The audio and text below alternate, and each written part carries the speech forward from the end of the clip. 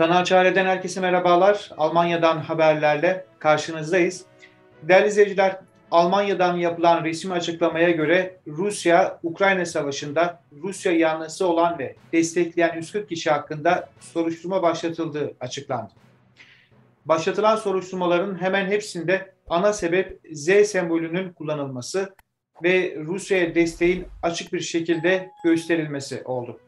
Almanya'da birçok eyalette Z sembolünün kullanılması suretiyle Rusya'ya doğrudan veya dolaylı olarak destek vermek savaş suçu olarak kabul ediliyor ve birçok kişi bunun farkında değil. E, Almanya'da Z harfini Rusya destek amaçlı olarak kullanırsanız hakkınızda soruşturma açılabilir. Hapse girebilirsiniz değerli izleyiciler. Çok dikkat etmekte fayda var. Bir sonraki haberde görüşünceye kadar hoşçakalın.